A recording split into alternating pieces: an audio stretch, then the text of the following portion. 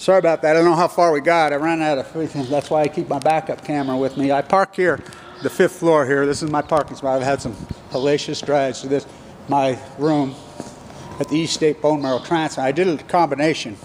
Headed right there. I'll walk to Memory Grove. Why Greed Peace and Greed Peace and the Sierra Club come by you up at Weber State, hold hands, kiss. I said, "Do you know about them draining the marsh on West 12th Street? The corporate welfare? What? what about the greatest environmental nightmare that ever happened. That's my room right up there at the corner. I was in there off and on for years. You know, I used a combination. When I was doing this organic, I was still under their care in there. You know, they helped me. They helped me. You know, Fimbo from Denmark. So, while they're in there Kambayan, I'll be fighting my ass off, showing you how Kevin Blanch, grassroots, grassroots, that's the way it has to be. It ain't about money. It's not about money. You can throw money at these fucking greed peace thing. You know, I need enough money to keep doing what I'm doing. You know, and I do this fucking lean. You think what I've done.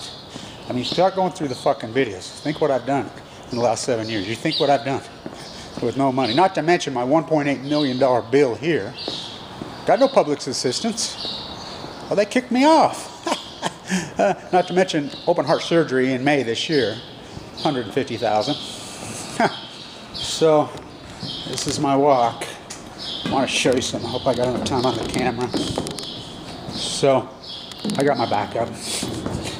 I'll show you how an activist wins. When Blue Castle did their grandstand, oh, you Googled, you got me with a central line hanging out of my jugular vein right there. As they were advertising on their whore, they call the terrorists, which I call them, Doug Wright and gang, KSL, they won't touch fucking me. None of them will touch me.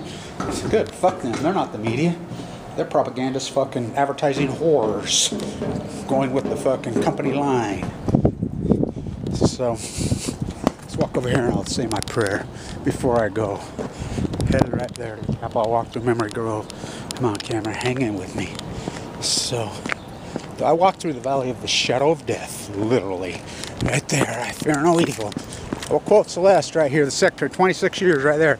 Kevin, up in East State.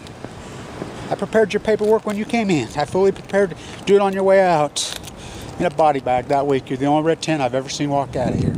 You should be very proud of yourself. So this is where I say my prayer. All right. Let's go freaking be an activist that wins. Let's be an activist that wins. Governor Herbert's father died of ML leukemia. So did Mike Lee. So what about Huntsman? Huntsman Chemical, the luxury good of death. Benzene plants poison the earth with his Russian oligarch buddies and his buddy Romney, who owns Stericycle, who burns BSC. Remember we were fighting with BSC to move him? The woman from the young, beautiful woman representative who defended Stericycle? Oh yeah, she died of BSC. Why we were fighting. Karma is very real. Cancer karma is very real. All another, all your money can another minute buy. Ask Jon Huntsman Sr. Multi-billionaire. He died of cancer. Stand tuned.